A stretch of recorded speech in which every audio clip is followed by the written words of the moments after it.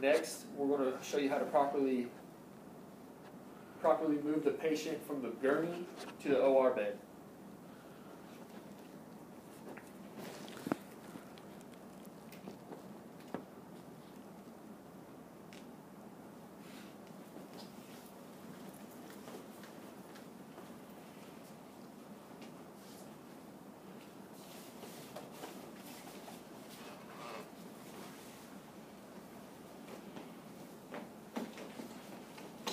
two, three. One,